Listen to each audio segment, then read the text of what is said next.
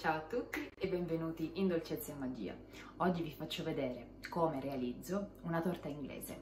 Una torta inglese molto popolare nel periodo delle feste natalizie, la plum cake anche se le feste diciamo oramai sono sul finire, ancora sono in tempo. Purtroppo quest'anno è stato diciamo un Natale un po' movimentato. Dunque, ehm, questa plum cake è una torta a base di frutta secca e frutta disidratata, principalmente mh, mm, uvetta sia bianca che nera, datteri e poi la frutta secca che preferiamo. Io ho utilizzato um, gli anacardi e le noci queste, questa frutta secca e questa frutta disidratata verrà poi eh, ammollata nel succo d'arancia appena spremuto, lasciata riposare così eh, assorbirà tutto il succo d'arancia e poi mescolata al resto degli ingredienti, ovvero la farina eh, con gli agenti lievitanti e le spezie di Natale, tra cui il cardamomo, la cannella e la noce moscata anche se in realtà ammetto che io il cardamomo non lo userò perché non, non, sono molto amante del cardamomo, l'ho provato due anni fa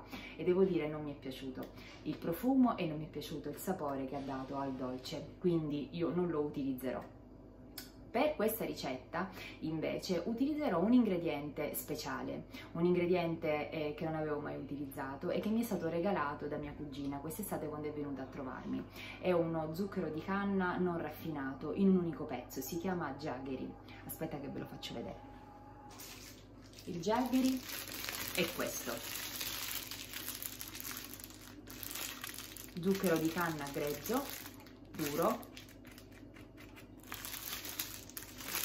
che poi andrà sciolto con l'acqua e, e utilizzato appunto come dolcificante. Allora, io penso che questo prodotto si possa trovare sicuramente online, su Amazon, e nei vari negozi biologici online oppure nella nostra zona sicuramente eh, Natura Si lo vende o anche nei negozi etnici ma se non vogliamo utilizzarlo e comunque vogliamo realizzare questa plum cake buonissima um, possiamo semplicemente sostituirlo con lo zucchero di canna umido, quello muscovado e sempre mescolarlo con l'acqua e utilizzarlo come dolcificante. Bene, adesso passiamo alla preparazione del dolce.